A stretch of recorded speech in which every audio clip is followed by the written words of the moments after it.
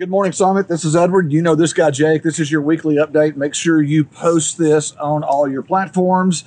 If you're not going to do that, at least talk about what's happening because, Jake, there's a lot happening. Brought my own cup of coffee this morning. I even had a cup waiting on him. I Two even weeks ago, cooked him breakfast You this did not morning. make me coffee last week. You made me a two ounce coffee. So that was I a said, Keurig. See, the Keurig. If you want makes- stuff done right, the Keurig, do it yourself. The Keurig makes a decision on who's deserving of a full cup and not. I had nothing to do with it. It's all my Keurig. It's one of those smart Keurigs, like a smart TV. Hey, lots happening this week. Lots happening in our uh, ministry right now. In fact, I'm going to be saying something at the end of this, so stick with us all the way to the end. Last night was incredible. I heard both youth ministry and our children's ministry. They met for the first time last night with our kids. Uh, that was K through second grade. This coming Wednesday, they're going to be uh, doing, let's say, third, Third through the through fifth. fifth. Third through the fifth. So if you have a third, fourth, or fifth grader, get them there on Wednesday night, six o'clock. It's incredible. Danielle came home last night. She was just so excited about just what's happening in our kids' ministry. you know what else is incredible? What's that, dude? Repentance. You talked a little bit about it Sunday. I don't know if you remember or not. I don't know if you listened to your own sermons, but you talked about repentance is the changing of the mind and inspired me to wear my metanoia shirt. Metanoia. Metanoia. the change, you know, a change of mind that leads to a change in action. action. Hey, we also on October the second, we're going to be doing a baby dedication. Uh, if you have a child that you want to dedicate, this is not salvation. This is not like other traditions. Uh, we're just dedicating to raise that baby in a godly way and to serve Jesus Edward, and follow Jesus. I'd kind of, I'd like to nominate you for that dedication if it'd be all right. I think it's more of a baby thing. But anyway, get signed up for that. Get in touch with Kristen. We'll get you uh, all, all signed up and that. It's, it's kind of cool. Lots of momentum in our kids' ministry right now. Uh, so if, if you're interested in that, uh, get get that uh, get get to Kristen. Y'all quit it. Quit it. Dogs, dogs. What else you got? Grief support will meet this Sunday after church in the Generations Auditorium. Jenny and Tomasa and her grief team would love for you to join them if you want to be a part of that. Uh, you can just sit and let those uh, grief ministers Man, so important. love on you, and you really don't have to share anything if you don't want to. They'll feed you, and uh, it- it's a really good deal. Also, still promoting small groups, still getting people plugged into small groups. This Sunday after church in room A101, we've got a, a new small group that myself and two other couples, uh, the Browns and the Sperlins, uh, we're going to be leading. Already got some people signed up for it. This group's sole purpose is for people to meet new people. We'll study the red letter uh, sermon series that Edward's been preaching. We're, uh, we're going to eat. We'll have some finger foods and stuff like that. But then the goal is for us to get to know each other and then birth new small groups out of that. So our first meeting is this Sunday.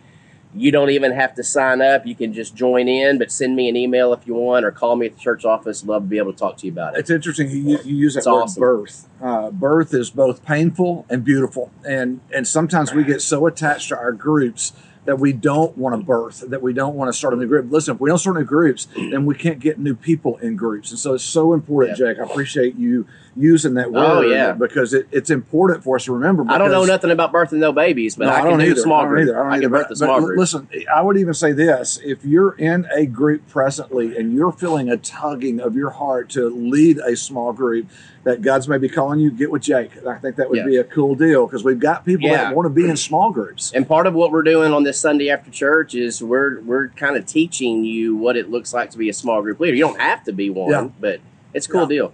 Also, awesome. want to remind you too, if you've not gotten in service yet, or you're looking for a place to serve, get with Jake, uh, and we'd love to get, get you connected. Uh, I've heard over and over again about our church. You go there, they're going to put you to work, uh, Oh. and it's not work. It's just that we get to, we get to serve. And so, if you're looking for that place, get with Jake this week, uh, and and he- he'll get you signed up. Also, we have our golf tournament Yeah. registration going on right Yeah, now yeah, uh, youth fundraiser on October the 8th at Pine Springs. Uh, they're going to be, uh, it's, it's going to be a great day. Uh, putting teams together. Uh, Four man scramble, four person Yep, scramble. four person, You got a kid, a teen, a, whatever. Yep. Uh. So make sure you get a register for that. We'll have uh, registration at the Info uh, desk. info desk this Sunday for you guys that don't go online. Uh, there's some that don't go online, Jake. So if you want to do the old school handwritten, that would be great. Now, Jake, you remember last week at the end of the video, I No. said there was going to be a big announcement. I do not remember. You that. don't remember that? Mm-mm. Got something big? I, I, something I want to say this to you. I, I really believe, and, I, and I'm, I'm speaking forth to you today, that I believe God's up to something at Summit. I really, really do. That's the There- announcement. We talk there's about been the there's been an incredible momentum over the last few weeks, and and I just believe that God's getting ready to do something huge. I really do. Uh, in our church, it's just a, a sense of excitement, a sense of expectation. So here's what I want to do. For the last probably seven or eight years, I've had a group of people that would come and pray over me uh, at 9:30. Uh, I want to invite you, you prayer warriors, to join us this Sunday, starting this Sunday in A101 at 9 a.m. for a time of prayer, praying specifically for our service, praying specifically for the people that we're going to walk in our doors, praying specifically for healing, for restoration, for salvation, for anointing, that, that God's Spirit would flood this place. It's not going to be a time we get in there and visit. We're going to we're not going to give prayer requests. We're going to pray. We're going to hunker down and we're going to pray. Uh, and then at 9:45, the worship team and, and myself, we will come in. We'll have a final prayer for preparation to go out. I want to invite you this Sunday at 9 a.m. It's a come and go thing. It, we're going to pray all during that time that God's going to move big in our services. Jake, I am so That excited, exciting. about that. That's a big announcement. I, am telling you, we're. I believe we're going to see. That's a big, hairy, audacious announcement. Uh, it is. I, I think we're going to see marriages saved. We're going to see healings. We're going to see restorations. We're going to see salvations. We're going to see things we've not seen. We're going to see repentance. Well, Metanoia. Uh, we're going to see things happen that we've probably never seen before.